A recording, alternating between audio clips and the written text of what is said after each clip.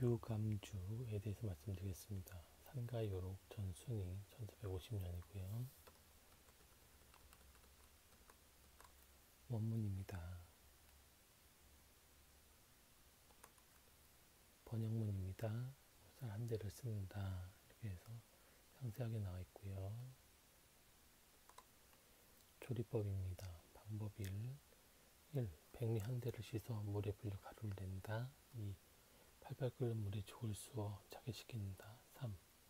엿기름 가루 두 숟가락 정도 넣어 굴고 섞어 작은 항아리에 담는다. 다음날 완성되어 쓸 수 있다.